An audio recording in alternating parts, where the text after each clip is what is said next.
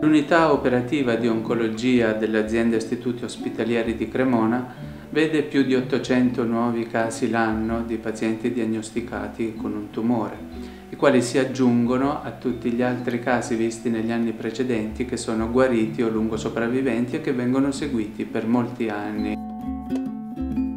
La chemioterapia è sempre meglio tollerata perché le terapie di supporto sono meglio tollerate e i nuovi farmaci generalmente non sono più chemioterapici ma sono dei farmaci a bersaglio molecolare, ossia che colpiscono specificamente alcuni punti deboli della cellula nel, nel suo DNA. Questo aumenta la qualità di vita dei malati che riescono anche a tollerare lunghi periodi di trattamento. ARCE eh, sta per Area di Ricerca Clinica Epidemiologica, eh, fa parte dell'ospedale oncologico ed è eh, un ufficio fondamentalmente dove vengono condotti gli studi clinici, cioè delle ricerche in campo oncologico, quindi su tutti i tumori ehm, ed è molto importante all'interno dell'ospedale perché ci sono delle, delle figure dedicate a supporto dello staff eh, sanitario per portare eh, nuovi farmaci L'incidenza dei tumori dello stomaco nella provincia di Cremona è stata calcolata pari a 40 casi ogni 100.000 abitanti l'anno, che è un tasso di incidenza molto alto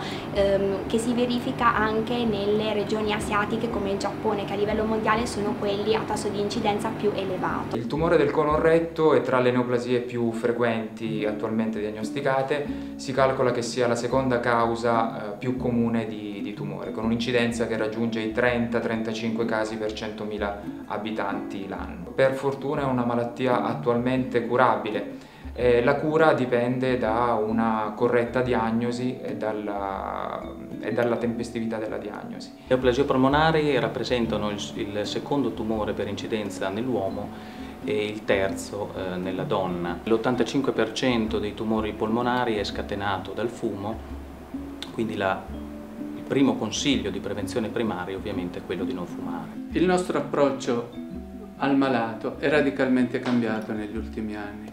Grazie a un percorso di umanizzazione con un progetto che abbiamo chiamato UCare e che è stato finanziato dal Ministero della Sanità, abbiamo introdotto un percorso informativo per i pazienti in cui a ogni malato viene affiancato un infermiere di riferimento. Questo paziente avrà in questo infermiere un vero e proprio punto di riferimento a cui chiedere notizie in più rispetto al suo trattamento e rispetto alle sue condizioni. Questo avviene durante il colloquio che viene fatto appunto prima di iniziare il trattamento chemioterapico e durante la somministrazione dei vari cicli di terapia. Se un paziente è particolarmente ansioso o depresso viene affidato a una psicologa, noi abbiamo due psicologhe in reparto. Se un paziente ha bisogno di, di, di alcune cose, l'accompagnamento verso casa, il fatto di un sostegno, allora abbiamo un'associazione di volontariato, Medea, che si occupa di sostenere i pazienti. Presso l'unità operativa di